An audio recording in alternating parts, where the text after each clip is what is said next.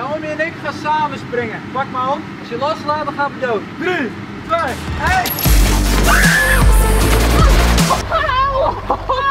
Oh, je been komt er buiten.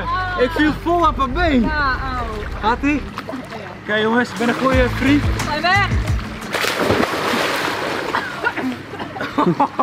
Oh, er zit maar een beetje chloor in. Over 5 seconden zal je niks meer voelen, dan ben je weg. Doei.